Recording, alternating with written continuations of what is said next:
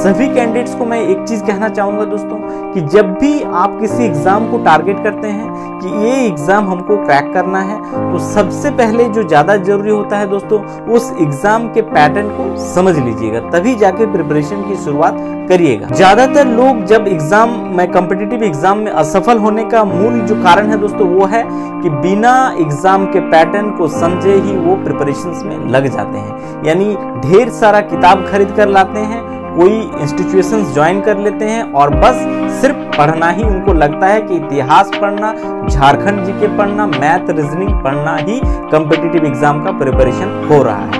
जो कि बहुत गलत ट्रैक में होता है दोस्तों, ठीक है? जब भी आप किसी एग्ज़ाम को फोकस करते हैं कि ये एग्ज़ाम हमको तैयारी करना है तो हमेशा उस एग्ज़ाम के पैटर्न को समझिए, ठीक है? प्रीवियस ईयर को क्वेश्चंस को देखिए, तभी जाकर तैयारी नमस्कार दोस्तों, आप सभी का हमारे चैनल में दोस्तों एक बार फिर से स्वागत है। दोस्तों, आज के इस वीडियो में हम बात करने वाले हैं कि झारखंड पुलिस कांस्टेबल एग्ज़ाम को लेकर एक महत्वपूर्ण अपडेट है।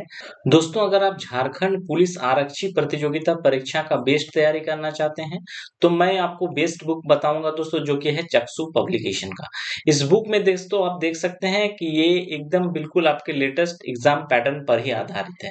इसमें पेपर वन और पेपर टू, जिसमें देख सकते हैं जनजातीय भाषा ज्ञान, हिंदी भाषा ज्ञान, सामान्य ज्ञान और न्यूमेरिकल एबिलिटी एबिलिटी के सारे प्रश्नों को दिया गया है। इस बुक में दोस्तों आपको 2400 से अधिक बहुविकल्पीय प्रश्न और साथ ही 15 प्रैक्टिस सेट्स आपको मिलेगा। साथ ही दोस्तों अगर आप झारखंड जीके का बेस्ट तैयारी करना चाहते हैं तो झारखंड जीके का भी बुक चक्सू पब्लिकेशन में आता है, जो कि अगर देखेंगे तो आपके एग्ज़ाम के लिए बहुत ही बेस्ट बुक है दोस्तों। आप इन दोनों किताबों से बेहतर तैयारी कर सकते हैं झारखंड पुलिस कांस्टेबल एग्ज़ाम का।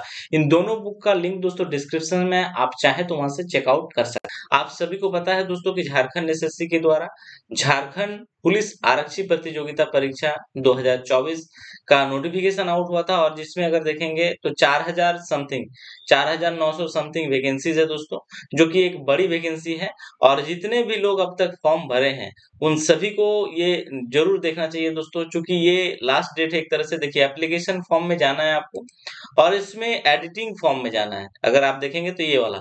Online application for J C C two thousand twenty three. यहाँ पे अप्लाई नाउ वाला जो ऑप्शन है दोस्तों, आपको यहाँ पे क्लिक करना है। यहाँ पे ओके कर लेना है। और इसमें आप देख सकते हैं amendment in the dedicated online application form जो कि 26 दो से लेकर 28 दो तक है।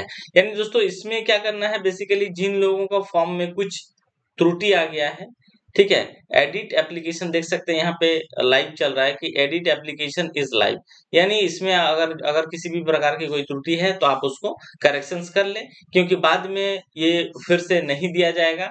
और इसके बाद अगर देखेंगे तो ये जैसे ही कंप्लीट हो जाता है, यानी 26 से 28 के बीच। और इसके बाद देखिएगा, कुछ दिनों के बाद जेएसएससी के द्वारा एक बार एक रिजेक्शन लिस्ट ज़रूर निकाला जाएगा फॉर एग्ज़ाम से जस्ट पहले। और इसका एग्ज़ाम में भी मान के चलिए दोस्तों क्योंकि लोकसभा चुनाव की भी घोषणा होने वाली है। तो इसके बाद यानी अगर देखेंगे तो मई तक या जून, मई या जून के फ़र्स्ट वीक तक पॉसिबिलिटीज है कि ये परीक्षा जल्द से जल्द कंडक्ट करा लिया जाएगा। ठीक है? और इसमें जितने भी प्रतिभागी लोग हैं, वो लोग तैयारी में लगे हुए हैं। हम देख रहे हैं कि बहुत से लोग हैं जो डेली अभी से अपना फ़िज़िकल के लिए वर्क कर रहे हैं। रिटर्न एग्ज़ाम के लिए भी वर्क कर रहे हैं।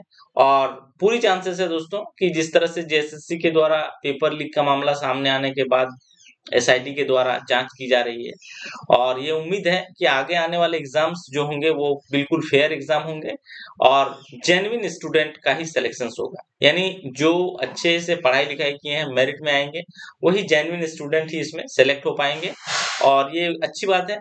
तो ये है दोस्तों, झारखंड पुलिस कांस्टेबल एग्ज़ाम से संबंधित एक महत्वपूर्ण अपडेट चूँकि बहुत से लोगों का त्रुटि हुआ है बट डेट कंफर्म नहीं है। तो मैं आप सभी को याद करा दे रहा हूँ कि 26 दो 2024 से 28 दो 2024 के बीच आपको अपना फॉर्म करेक्शन कर लेना है।